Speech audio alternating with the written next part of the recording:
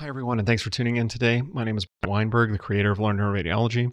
Today, we're going to talk about emergency imaging of brain tumors. We're going to cover the oligodendrogliomas and some of the other uh, more circumscribed and less common low grade gliomas. Uh, so stay tuned. If you haven't seen the other videos on astrocytoma, some of the introductory imaging features, be sure to go back and check those out. Uh, this is part of a series on emergent imaging of brain tumors. Uh, so let's move on. Oligodendrogliomas, we talked about it in the classification lecture. These are primary brain tumors that are IDH mutated. They have one P19Q codeletion. They come in two grades. Okay, grade two, the sort of infiltrating uh, or typical oligodendrogliomas. Then grade three are the higher grade anaplastic oligodendrogliomas. These theoretically do not transform into grade four tumors. If they do, they may go back and uh, check their histologic diagnosis, check some of the molecular features uh, but typically these should not become grade 4 tumors. Our case here is a 51 year old woman with episodes of spotty vision, right lower extremity incoordination while running errands. Here we see a scout image from a CT. If you look in the middle of the image, there's something a little bit weird going on here. So just be attuned to that. But let's see some images from the actual CT. I'm going to scroll through these for you here.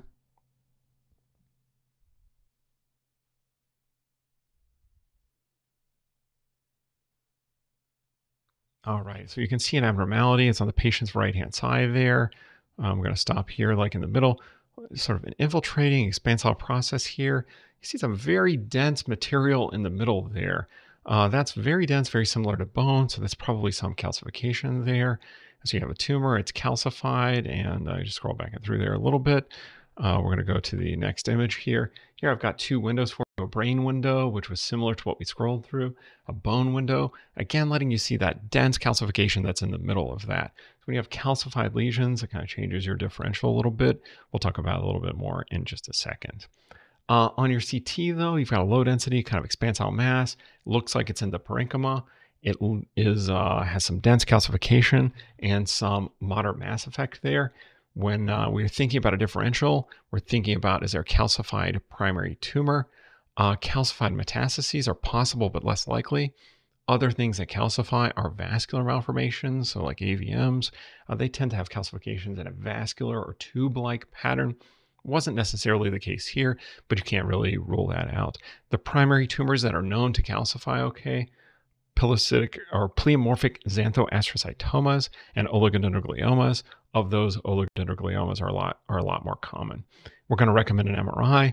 So now on our uh, CT impression, we're going to see there's a hypodense mass in the right inferior frontal parietal lobe, has dense calcification, uh, calcifying primary tumors, oligodendroglioma or PXA, and uh, we want to recommend an MRI for additional evaluation.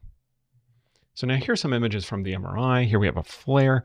Uh, you see again that mass, the low intensity stuff in the middle, probably those areas of calcification where you're getting signal loss. Here's a T2 just showing the same thing. Kind of ill-defined margins, heterogeneity in the center there, again centered around that calcification. Here's our pre and post contrast. Uh, you see again, kind of uh, iso intense to slightly hypointense adjacent uh, gray matter. And maybe a little wisp of enhancement in there, but not a lot of very avidly enhancing regions. This is a pretty typical appearance for a grade 2 oligodendroglioma. Again, we talked about those have to have IDH mutation and 1p19q deletion. A little bit more common in males, a little bit more common in the fifth and sixth decades, although you can see them uh, a little bit younger patients as well. Uh, these patients are treated by resection. Sometimes they'll get radiation at the time of resection, but most of the time they're going to follow these up. They can really occur anywhere in the hemispheres, but uh, slightly favor the frontal and temporal lobes. Again, the calcification was the key here. That's the un- unusual part for most primary tumors, and that's what helps you maybe think it's an oligodendroglioma on the CT. Uh, the pearl that I'm giving you here again, oligodendroglioma and pleomorphic xanthoastrocytomas are the most common calcifying primary brain tumors. For our second case, we're going to look at a case of a 56 year old woman with increasing fatigue and speech changes. Here I have some images. We're going straight to an MRI here. Have diffusion weighted imaging on the left here. Heterogeneous diffusion appearance, some areas that are a little bit hyperintense, maybe a more cystic area that's hypointense. On T2, we see a cystic region. We see a flat horizontal line through that. Most anatomic things, remember, like don't form perfect lines like that. That's a fluid level, depending on how that patient's laying there. Uh, so probably there's been some hemorrhage into that. But again, a heterogeneous mass, very heterogeneous, some surrounding areas of edema.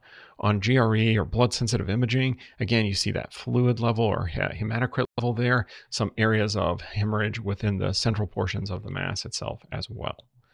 Uh, here's FLAIR, just showing kind of the same things. Ill-defined margins, lots of mass effect, areas that are very hyperintense towards those that are just a little bit hyperintense to the gray matter. That's a lot of heterogeneity. Here's our pre and post contrast. Uh, not much that we see on the pre-contrast. Lots of heterogeneous enhancement, ill-defined margins, patchy enhancement, peripheral enhancement around the rim of that cystic uh, area with fluid level. So lots of ugly-looking enhancement. When we see this, we're thinking it's a high grade lesion. So this is a case of an anaplastic oligodendroglioma. These are the more aggressive oligodendrogliomas. They're more likely to have hemorrhage enhancement like you saw in this case. Again, the true 1p19q codeleted oligodendrogliomas theoretically don't become grade 4 tumors. Uh, so high-grade oligodendrogliomas, like the one in this case, they can look just like grade 4 tumors. So on your differential, you're not really you're not really saying like, oh, I think this is a high-grade oligodendroglioma. When you're reading this CT or even the MRI, you're probably just suggesting that this is a high-grade glioma. This one just turned out to be an anaplastic oligodendroglioma. Here again are those findings. Is kind of a little bit of a summary of these two oligodendrogliomas here. We have this one with dense calcification that we saw first. Again, oligodendrogliomas are the primary brain tumors most likely to calcify. Anaplastic oligodendrogliomas uh, look a little bit worse. They really mimic GBMs. And in most cases, if you said this is a GBM, uh, you probably are, are, right on track there. Uh, so those anaplastic ones can look pretty bad. Uh, this is a summary of some other low-grade tumors that you might see. We're not really going to cover them here. You don't really need to know about them so much in the emergent setting. These tend to be more circumscribed tumors that have uh, well-defined margins, less edema. This is a case of a grade 1 pilocytic astrocytoma in the posterior fossa here, kind of in the inferior uh, at the pontomedullary junction there. Here we see a DNET. This is again just a very well-defined, predominantly cystic tumor, maybe a little wisp of enhancement. These are often indifferentiable from gangliogliomas, which is the case here. Maybe gangliogliomas could be said to have a little bit more enhancement, which you might see a little bit there. Pleomorphic xanthoastrocytomas, we talked about a little bit in this. They have some different features. They tend to look worse uh, than their grade. Uh, you can have a lot of heterogeneous features, cyst formation. They may calcify, as we talked about earlier. And also, this dural tail or dural margin is pretty typical for a PXA.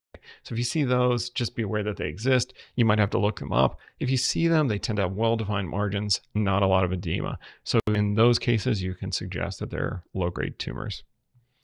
Um, many of these low-grade tumors are going to look the same, okay? Uh, some features may help you differentiate them. Again, the enhancing nodule, more common in pilocytic astrocytoma, PXA, and ganglioglioma. The description of classic bubbly appearance, that's a favored test question.